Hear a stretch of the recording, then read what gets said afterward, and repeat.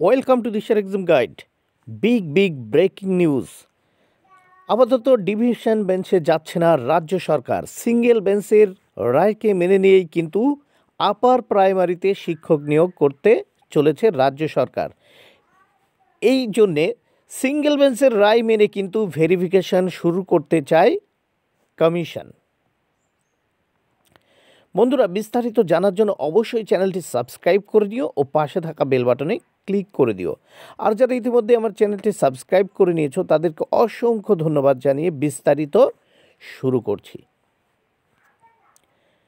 চাকরি প্রার্থীদের জন্য সুখবর। আপাতত উচ্চ প্রাথমিক শিক্ষক নিয়োগ নিয়ে নতুন কোনো মামলা নয়।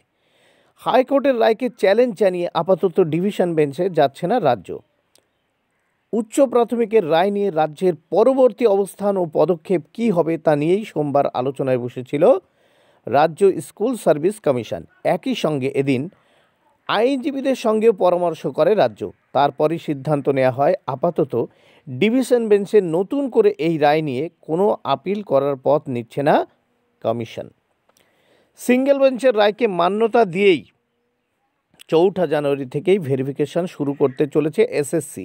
এদিন শিক্ষামন্ত্রী পার্থ চট্টোপাধ্যায় সঙ্গে বৈঠকে বসেন পার্থ চট্টোপাধ্যায়ের সঙ্গে বৈঠকে বসেন এসএসসির আধিকারিকরা। আপাতত ভেরিফিকেশন পর্ব শুরু করুক এসএসসি।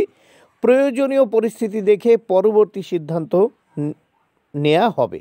এবং সোমবার বৈঠকে স্কুল সার্ভিস কমিশনের আধিকারিকদের এমনই বার্তা দেন শিক্ষামন্ত্রী বলে স্কুল শিক্ষা দপ্তর সূত্রে খবর।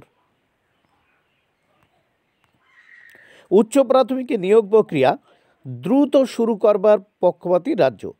ডিভিশন বেঞ্চে গেলে নিয়োগ প্রক্রিয়া আরও সময় লাগবে, তাই সিঙ্গেল বেঞ্চের রায়কে মান্যতা দেওয়ার সিদ্ধান্ত সরকারের। সূত্রের খবর, একুশের বিধানসভা ভোটের আগেই উচ্চ প্রাথমিকের নিয়োগ প্রক্রিয়া শেষ করতে চাইছে রাজ্য এবং শুক্রবার বিচারপতি মৌসুমী ভট্টাচার্যের সিঙ্গেল বেঞ্চের ঐতিহাসিক রায়ে খারিজ হয়ে যায় আপার প্রাইমারিতে।